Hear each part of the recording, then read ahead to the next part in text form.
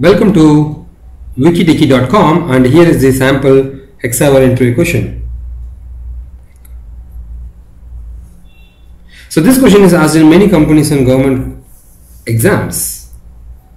My name is Venkat, I am a Microsoft Most Valuable Professional and you are able to see my Microsoft profile in Microsoft.com.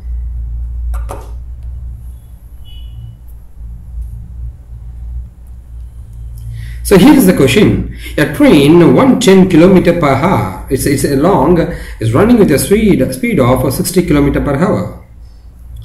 In what time will it pass a man who is running at 6 km per hour? They are in opposite direction. So here is the answer.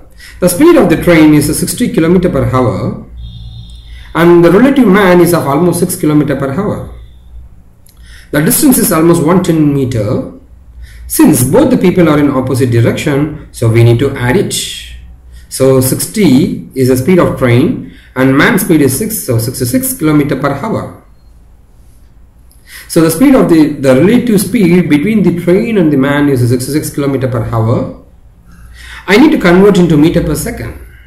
So since the, the opposite direction they are going to meet it, how much time? That's the answer. That's the question they are asking you.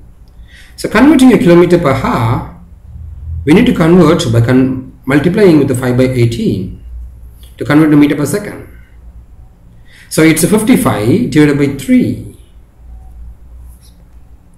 So cancelling this one, you got the answer as 66 divided by 11, that's 6 seconds. So the time taken for this train and the man to cross is 6 seconds. So the answer is 6 seconds. We got a lot of multiple questions uh, and interesting videos to watch. You can check it out our Wikitechy YouTube channel. So here is the YouTube channels for uh, technology related stuffs. It's Wikitechy. For interview related stuffs, it's in uh, Wikitechy interview, the YouTube channel. And for school related stuffs in Wikitechy school. And for health and other things, Wikitechy health. You can check it in youtube.com by typing our YouTube channel. And you can subscribe to our YouTube channel to get regular updates. And here is our website and uh, our Facebook page. You can contact us for any help. Thank you.